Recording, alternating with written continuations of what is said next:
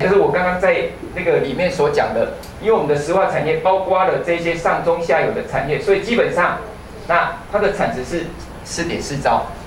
我完全同意，为什么经济部会讲说这个产业呢？因为我们全国的总产值三十四兆，里面有四点四兆来自于所谓的这个石化的上中下游的产业，这个都是主机出的资料。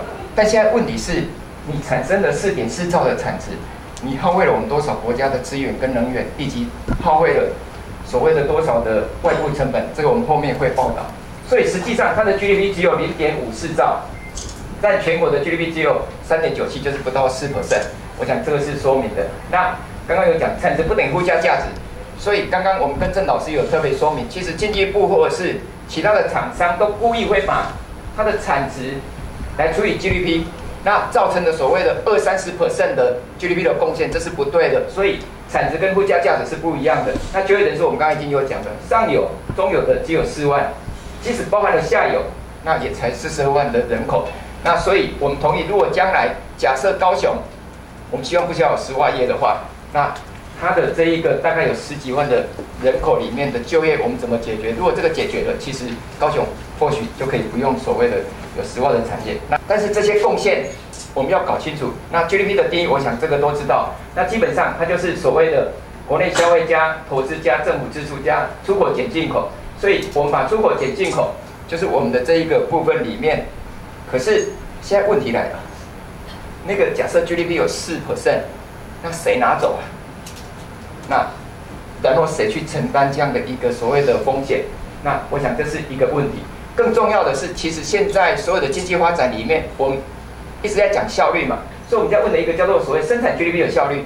我们要问，你只有零点五九兆、零点五四兆的 GDP 占四 percent 里面，你每一元的 GDP 所投入的资源。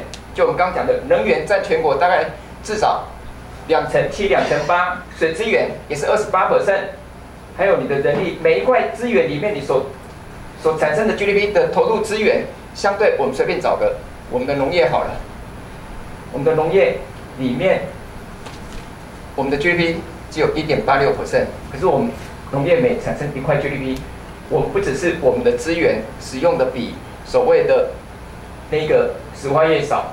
我们每一块 GDP 的外部成本，我们不止不是外部成本啊，我们的外部效益啊，农业产值一年四千八百亿，它一年创造的生态环境、文化、粮食安全的贡献超过一兆啊。那你为什么要发展石化业？为什么不发展我们的农业？这个就是我们所谓的认为你在讲 GDP 的时候，你要告诉我们，那你赚的一块钱的 GDP，你付出的代价多少，或是你所使用的资源多少？这个是政府要拿出来的，而不是只看所谓的这个一个比百分比。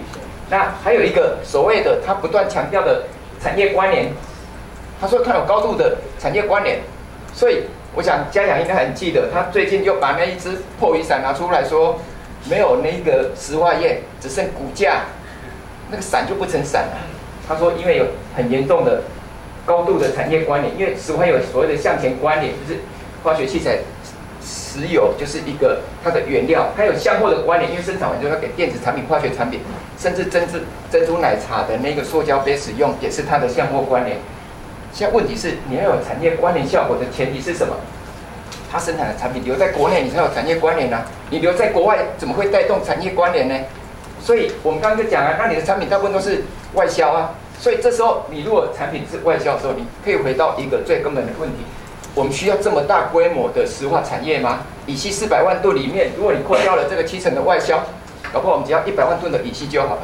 所以，我们不只是所谓的高雄的石化业要关掉，甚至未来石化产业里面，如果可以把乙烯的所谓的四百万吨的量修正成一百万吨，或许就更合适。本来啊，我们的国家的三维产业政策里面，比如说乙烯的需求量，我们现在四百万吨有没有？他请了某些的经济学家预估说，未来。考虑全球的经济发展，我们的乙烯可能要至少五百八或者是七百三十几万公吨，也就是说四百万公吨的六千台塑所生产还不够哦，未来还要再生产到这样。他为什么要这样估计？他就是用错误的一个公式，这个公式叫做什么呢？叫做所谓的这个是他预预估的这个乙烯的这个需求量哈，就有四百多变五百八十或者是七百三十五。他为什么要预估这个？他说啊。我们的自给率不够。他为什么用自给率不够？自给率本来名义上就是你国内的需求里面的国内生产，可是他很邪恶的，他把国外的需求放在我们的分母当总需求啊。所以当全球不断的经济成长，你需要这些石化产品的时候，那我们就要不断的生产乙烯以及乙烯的中油产品，所以我们的自给率会永远不够啊。所以你看，这是三千、四千、五千跟六千的乙烯的总产能，那总需求，那预估四二七、四六六、七百五，为什么会这样预估？因为认为经济成长，所以我们就不断的。那开玩笑，那不是只有到三四五六千，那七千没了，八千没了，搞不好就套到九千、十千。所以基本上，他就是用错误的乙烯自给率。所以我们那时候有跟他更正说，你要用正确的乙烯自给率。所以正确的就是你的分母，只要是用国内需求，比。扣除了所谓的外销的话，其实我们的自给率是三百多啊，那就表示太多了。所以我现在有一个问题，可能是大家要思考，因为现在的石化上位产业政策已经被修正成稳定成长，也就是乙烯大概就维持四百万公吨。假设今天高雄没有石化专区，中有的一百万公吨就不见了，那要给台塑嘛？